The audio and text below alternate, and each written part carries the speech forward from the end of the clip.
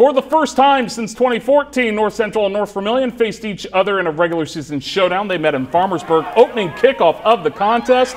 Check out the Falcons with some trickeration, and then Daniel Woody flies in to get the onside recovery.